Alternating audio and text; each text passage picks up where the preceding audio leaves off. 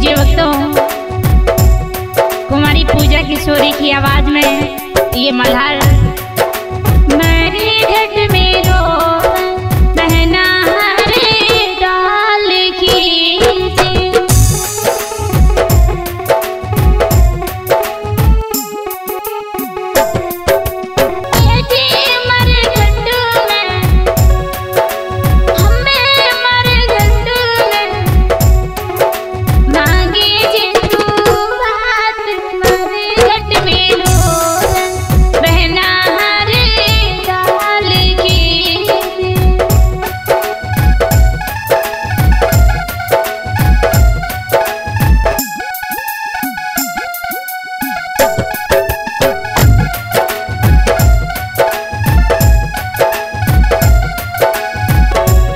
हरदौल की बहन गुंजावती अपने भैया हरदौल सिमरगट में भात मांग रही है।